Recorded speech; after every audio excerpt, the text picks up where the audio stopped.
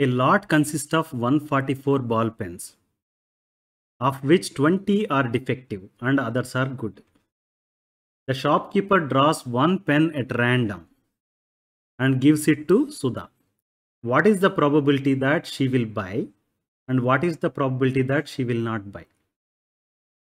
ఈ particular problem statement చూస్తే కనుక one forty four ball pens ఉన్నాయి out of that twenty are defective okay Others are good అంటే twenty తీసేస్తే one forty ఫోర్లో నుండి one twenty four are good pens. Shop keeper draws one pen at random and gives it to Sudha ఒక పెన్ని ర్యాండమ్గా select చేసి సుధాకి ఇస్తాడు. What is the probability that she will buy it what is the probability that she is not going to buy it right ఆవిడ ఎప్పుడు కొంటుంది? Pen defect లేకపోతే కొంటుంది. Pen defect ఉంటే కొందు.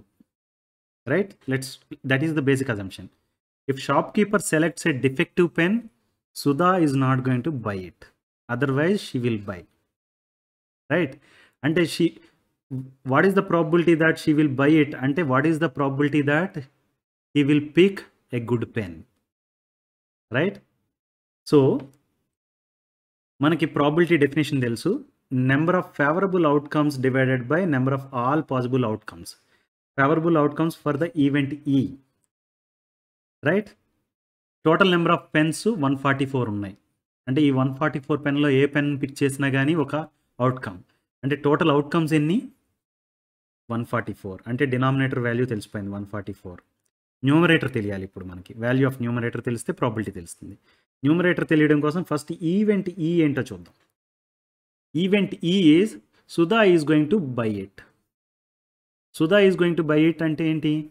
It means that shopkeeper draws a good pen out he draws a good pen out what is the probability that he will draw a good pen out అది మనం ఇప్పుడు కనుక్కోవాలి. So event E is shop keeper drawing a good pen out okay అసలు good pens ఎన్ని ఉన్నాయి? Number of good pens ఎన్ని ఉన్నాయి? One twenty four ఉన్నాయి.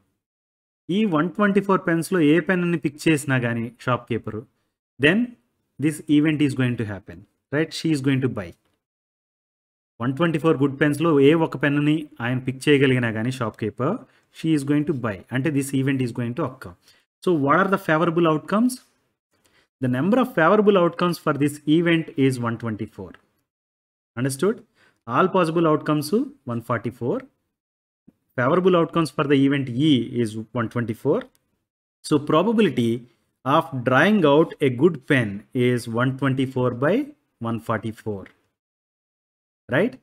This is going to be 31 times 4 divided by 36 times 4. So 31 by 36 is the answer. Probability of drawing out a good pen is 31 by 36. It means probability that Sudha is going to buy a pen is 31 by 36. Got it? Second part, what is the probability that she will not buy it?